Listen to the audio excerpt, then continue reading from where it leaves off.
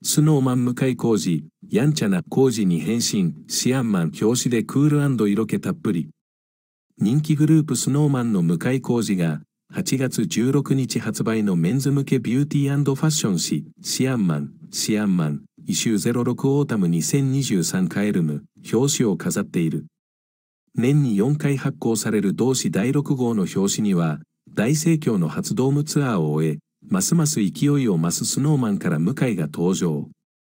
インタビューでは、メンバーの目黒蓮が単独初主演を務める7月期 TBS 系連続ドラマ、トリリオンゲームの主題歌、デンジャーホリック、デンジャーホリック、9月6日発売についてや、自身のビューティー感やファッション感についてなどを楽しく語っている。シアンマン流の男性が見てかっこいいメイクアップを施した向井が、秋の最新ファッションを身にまとい撮影。表紙と中面12ページにわたり、やんちゃな工事が表現する、クールで色気たっぷりの表情で届ける。